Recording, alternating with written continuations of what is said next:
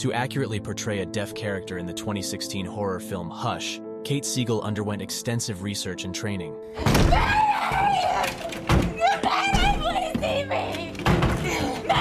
She consulted with deaf actress Deanne Bray and learned American Sign Language, ASL, to authentically depict Maddie's experiences.